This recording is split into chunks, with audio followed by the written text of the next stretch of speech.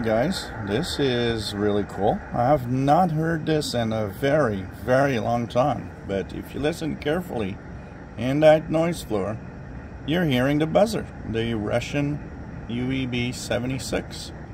And with only telescopic antenna on my Tecsun S2200X. Uh, so, uh, pretty neat, pretty neat.